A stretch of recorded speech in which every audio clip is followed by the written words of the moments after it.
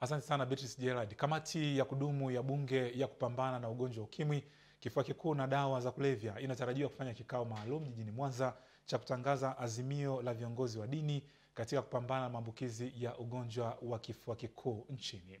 Taarifa hii ni mwanahabari wetu Sudi Shabani ameiandaa. Imedhihirika bado ugonjwa wa kifua kikuu umeendelea kuwa tishio la kiafya nchini, ikiwa zaidi ya watu elfu sitini kwa mwaka wanadaiwa kuugua ugonjwa huu. Kikao hiki kifanyikie Mwanza. Mkutano huu na waandishi wa habari ni sehemu ya kuainisha ya kuwa mapambano dhidi ya ugonjwa wa kifua kikuu yanaendelea, nia ya kuutokomeza kabisa. Hapa ni kambi rasmi ya wabunge bungeni ya kupambana na ugonjwa huo, wakibainisha Novemba 30 mwaka huu kinatarajiwa kikao maalum cha kutangaza maazimio ya viongozi wa dini juu ya mapambano ya kifua kikuu. kwa ajili ya kuwaweka pamoja viongozi, kuwaweka pamoja wao wenyewe, lakini kuwaweka pamoja na bunge na kuwaunganisha na serikali, ili nguvu yao hiyo ya nyumba za ibada na mifumo yao itumike vizuri katika kuleta ufahamu tuna imani kabisa makanisani kuna wanafunzi, kwa wanafunzi wakipata hiyo elimu ni rahisi wao pia kuipeleka mashuleni.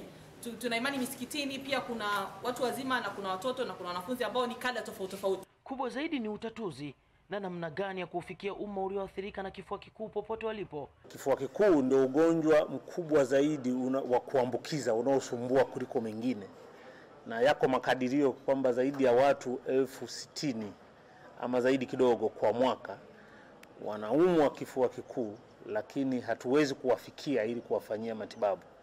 Huenda hii ikawa ni sababu mojawapo kikao hicho kufanyika mkoani hapa. Mkoa wa Mwanza ni mkoa ambao maambukizi ya kifua kikuu yako juu.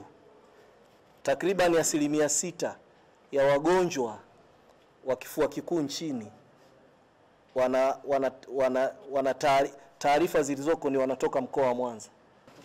Katika hatua nyingine, imetajwa tathmini ya maandalizi ya siku ya uhuru Desemba 9 mwaka huu yanayotarajiwa kufanyika mkoani Mwanza. Sherehe za miaka 58 ya uhuru safari hii zitafanyika katika viwanja vya CCM Kirumba na maandalizi yake siyo haba.